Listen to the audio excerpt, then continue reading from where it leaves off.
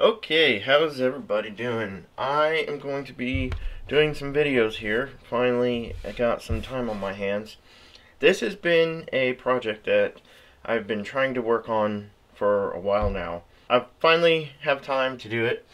Uh, I know in a past video I said I was going to be updating the LED or the turn signals on my 2013 Kia Sorento. I have not done that yet. I still have the resistors. It's been, you know, a year, year and a half since I've gotten around to it.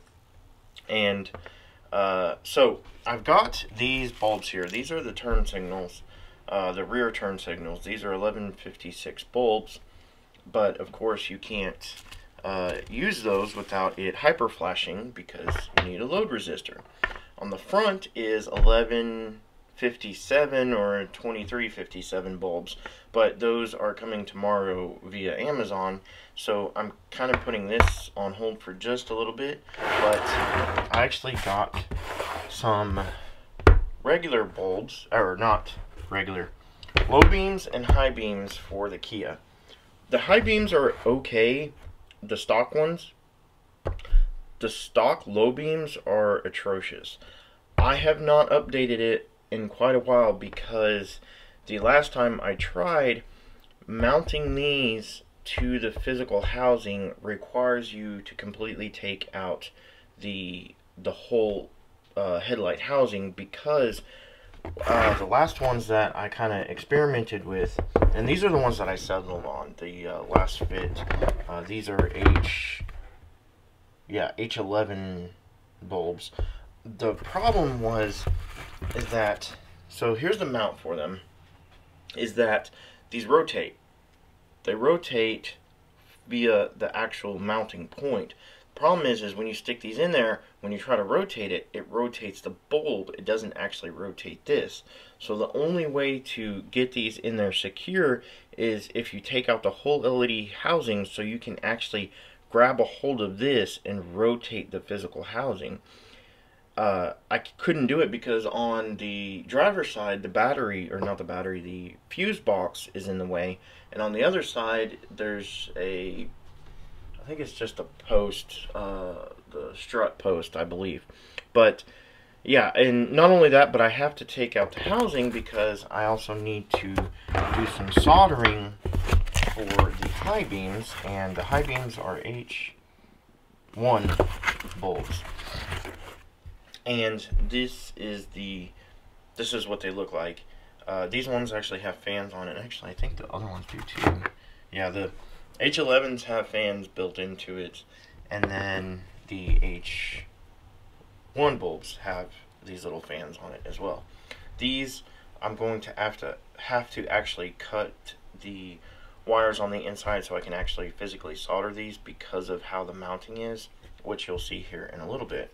But all of that is going to be um, maybe thrown into the same video, but I have these.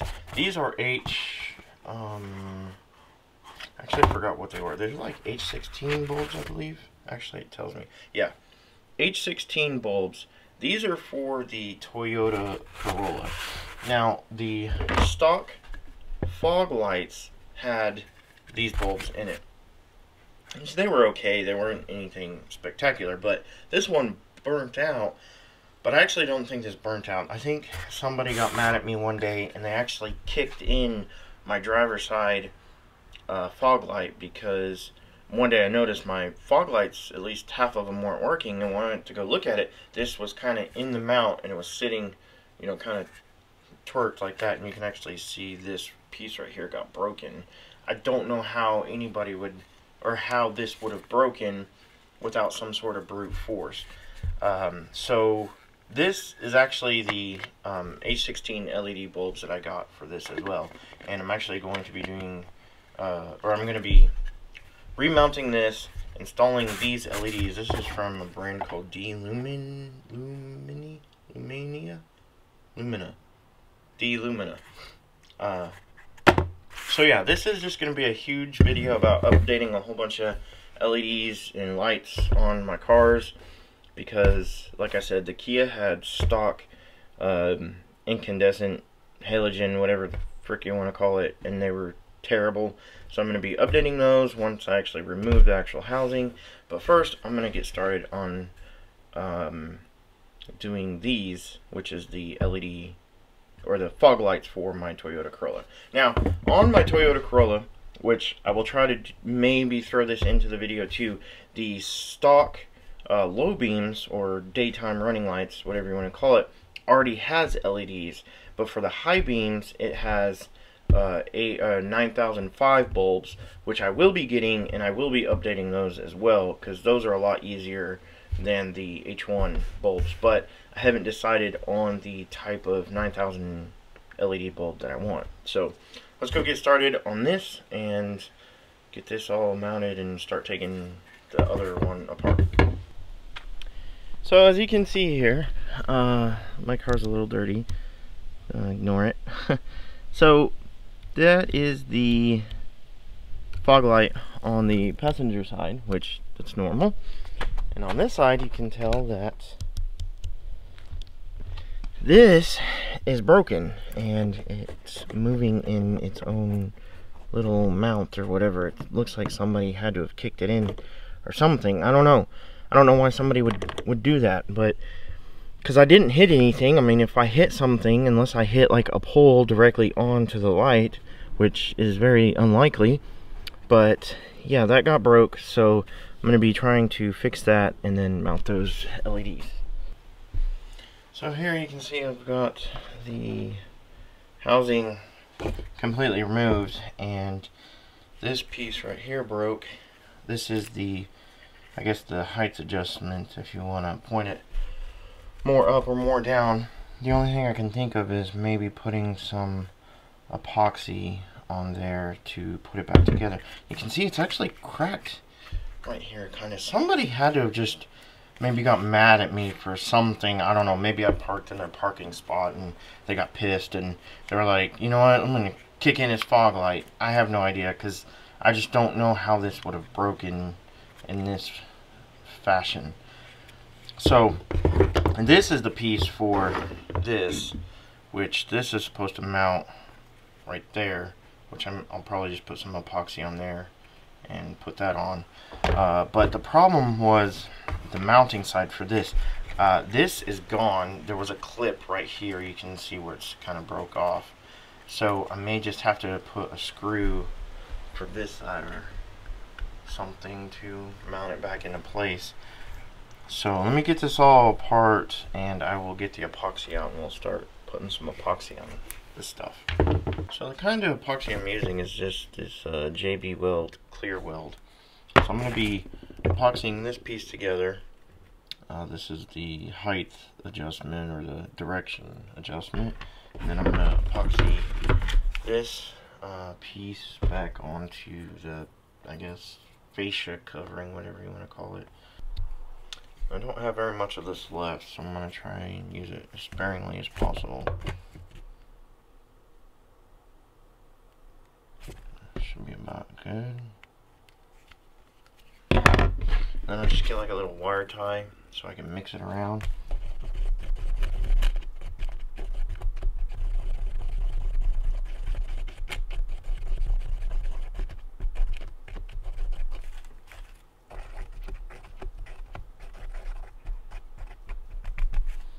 So I'll dip this side in, get some epoxy on there, the same thing here.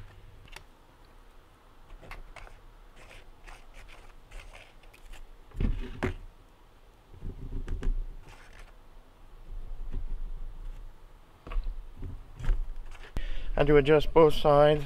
This one is completely fixed. I had the um, epoxy, I let it dry.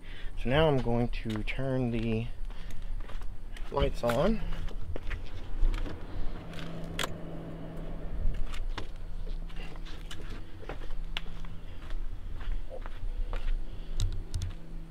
I can't really see that much in daylight, but they're actually pretty, pretty damn bright. Okay, so I have the bulbs installed on here. On the passenger side, it's fairly easy because you have room to access the bulb right there. and I just wire tied it so that the actual driver isn't touching anything because these ones that I bought, the 9005 bulbs, have a driver and on this side what I had to do is um, take off the two bolts for the uh, light and take off the black grill piece. It's just one bolt right here and then plastic little clip pieces and then right here is the same thing. You take off this plastic clip so that you can just, you don't have to take the light all the way off, just enough so that you can move it to get your hand in between the actual battery and the physical bulb. But yeah, so on the Toyota, you have daytime running lights, which is the regular lights. They're just kind of like in a low power mode. But when you actually physically turn the lights on, they get a little bit brighter. Now, th those are my fog lights. So those are daytime running lights. You turn on the lights, they get just a little bit brighter. Then those are my fog lights, which are ridiculous. And then those are my brights, or high beams. Yeah, those are, those are ridiculous. Now, if I turn off my brights and go to my fog lights, I think I already did this part, I don't know. Here's my fog things are ridiculous. So, yeah. So now I'm going to move on to the Sorento lights, LEDs. So I've got the passenger side headlight completely out of the Kia. Uh, what you have here is you've got two bolts on the top of the headlight. There's one bolt right here on the back side. Let's see if it'll pick it up. There's one bolt right there if you can see. And then you'll have to take off there's a bolt here and a bolt here uh, and then you've got those little clips that'll have to come out so you'll be able to pull this grill forward so that you can pop up the LED headlight and then pull it out. Uh, so I'll go ahead and try and do that now and show you guys. 10 millimeter bolt.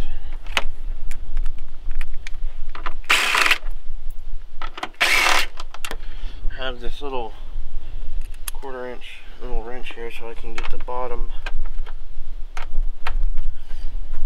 bolt out. You'll kind of pull up, lift up, and this should theoretically just kind of come out. Yeah, comes out just like that.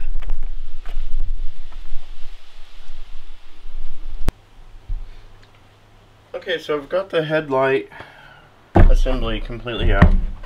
I've just kind of wiped it off a little bit just so it looks a little better on camera.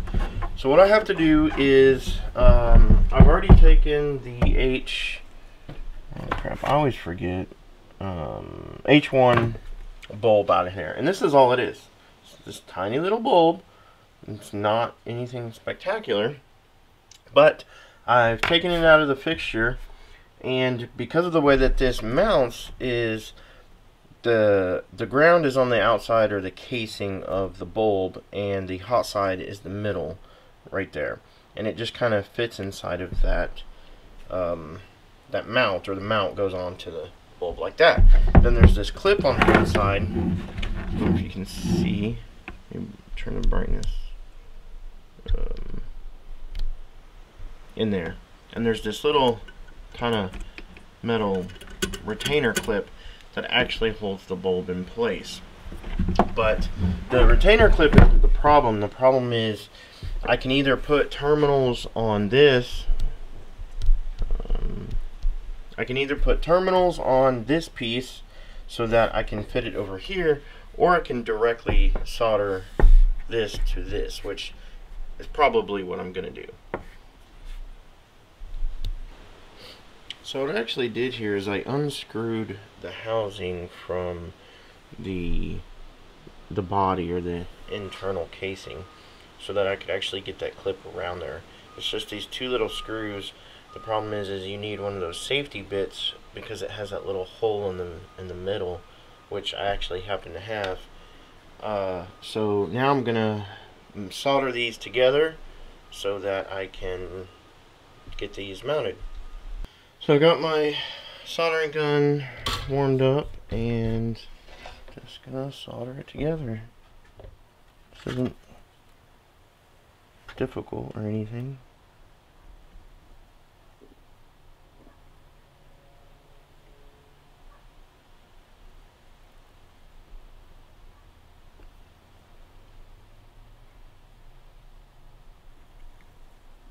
And I've already ran heat shrink down the wire. Okay, so the LED is now mounted inside there and I've got it soldered, got some good heat shrink. Now it's time to do the permanent mount for the uh, low beams. And this isn't hard, it's just I have to actually turn the mount on there without actually turning the bulb. Okay, so I'm a dum-dum apparently if you rotate the mount far enough there's actually a stopper where you can actually stop and actually rotate the physical mount part of it in. I guess I didn't think to just keep turning I just thought the whole thing turned itself. So didn't really need to go through all of that but there you have it. And then last but not least is the turn signal bulb. Uh, this is just a standard um, 2357 or 1157 bulb. So this just fits in there like normal. I'm going to put this in and then before I actually mount these casings back to the car, I'm going to mount the uh, load resistors and I'll show you guys which wire you're supposed to tap into. Okay, so it's getting a lot windier. Hopefully it's not terrible. So I've got the resistor um, drilled into bare metal there. Uh, or not bare metal, but uh, actual metal area. So basically what you do is you take that load resistor and you wire it in parallel with the blinker side. So on this particular car, the blinker is the white wire on the connector for the driver side. On the passenger side, it's yellow-black. So basically what you just do is you wire that in parallel and what you're doing is you're fooling the computer into thinking that you have a regular incandescent bulb. So I kind of moved out of the wind there. It's it's getting crazy windy today. It seems to always do that when I want to record a video.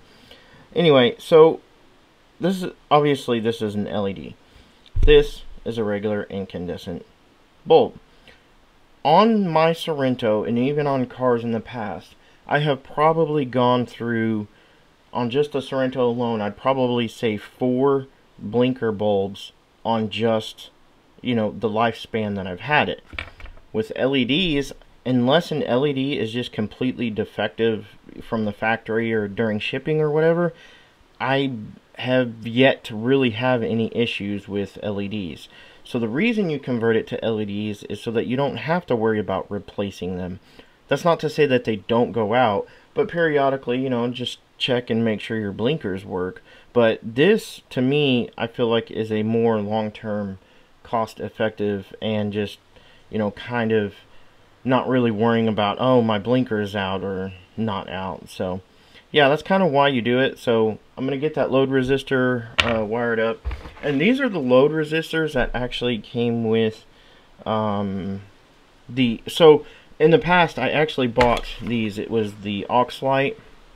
Um, I actually used the ones that I bought before because I was working on a family member's lawnmower and I used those LEDs for that lawnmower because it for some reason used uh, 2357 bulbs and then these are the resistors that actually came with it and I was running it for a good probably I want to say three to five minutes on the blinker and I mean it got warm but it didn't get terribly hot so that's a good indicator that you need to make sure that these are mounted to a metal surface. Okay, so I've got the rear lights taken off. Uh, I tried to actually take apart the plastic here so that I could look behind it. What I was actually going to do is probably mount the resistor behind here.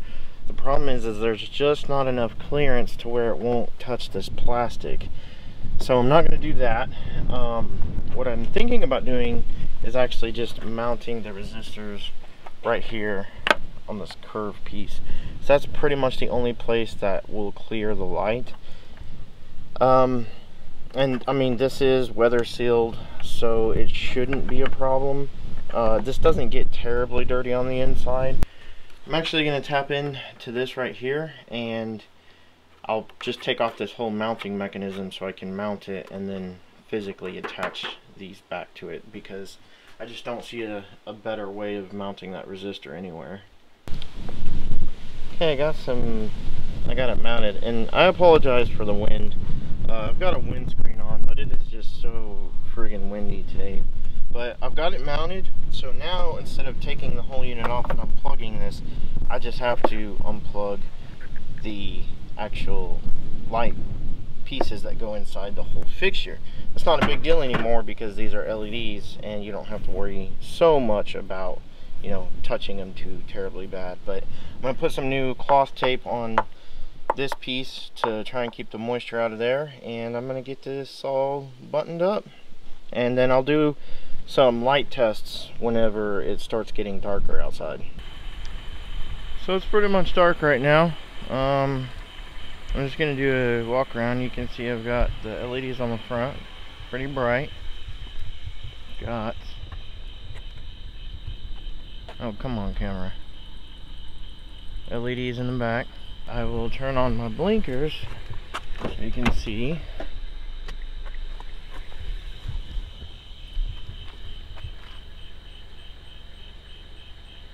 Front, or I mean the back. There's the front. I'm going to turn on the lights. I'm going to turn on the brights. Kind of ridiculous.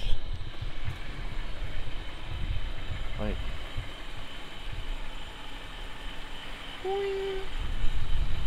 yeah. I mean, they're lights, nothing spectacular.